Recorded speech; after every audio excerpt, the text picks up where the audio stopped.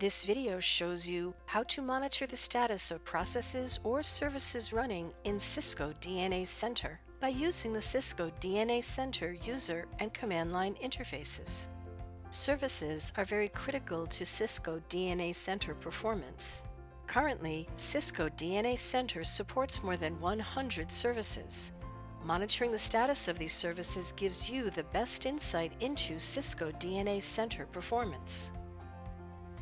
First, let's see how to monitor the status of services by using the Cisco DNA Center UI. The System 360 view on the Cisco DNA Center UI presents information about various services and app stacks running on a particular host. It also provides a performance snapshot of various services running in Cisco DNA Center, such as topology and telemetry services. App stacks are loosely coupled but interrelated network services or applications. For example, Network Data Platform, APIC EM, and analytics applications are some of the app stacks in Cisco DNA Center. These app stacks are mapped to a namespace at the time of deployment. Namespaces are a way to divide cluster resources between multiple users. To access the Cisco DNA Center System 360 view, click the settings icon on the Cisco DNA Center homepage and select System Settings.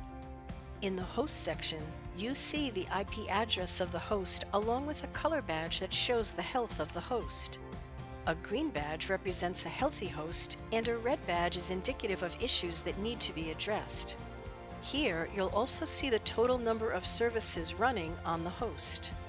Cisco DNA Center supports single node and three node cluster deployments. For a single node deployment, you'll see one IP address, and for a three node cluster deployment, you'll see three IP addresses of hosts with services that are distributed across nodes. Each cluster deployment has its own IP address. To view detailed information about various services running on the host, click View Services. This takes you to the Services page. Here, you'll see the total number of services running on the cluster, the IP address of the host, and the health status of the nodes and services. An unhealthy node is indicative of a problem that you need to further troubleshoot. An example could be a temporary failure of the network connection between hosts in a multi-host cluster environment. Even if one of the services is down, the service's status is displayed as unhealthy. The Services table provides details such as the service's name, the app stack name, health status and version of services, and links to analytics and visualization tools like metrics and logs.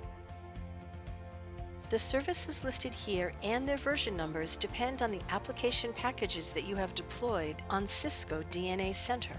You can hover your mouse over the information icon to review the health of the services on the host.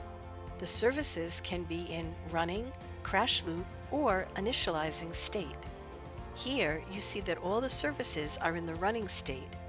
If any service is in the initializing or crash loop state, it indicates a problem that you need to address.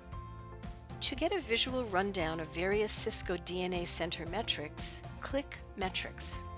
The information is displayed in Grafana, which is an open platform for analytics and monitoring. The Grafana window displays multiple dashboards with a graphical representation of resource use. You can review dashboards that represent various metrics, including CPU usage, memory usage, network usage, and file system usage. Click Logs to view service logs in Kibana, which is an open source analytics and visualization platform to review detailed activity logs.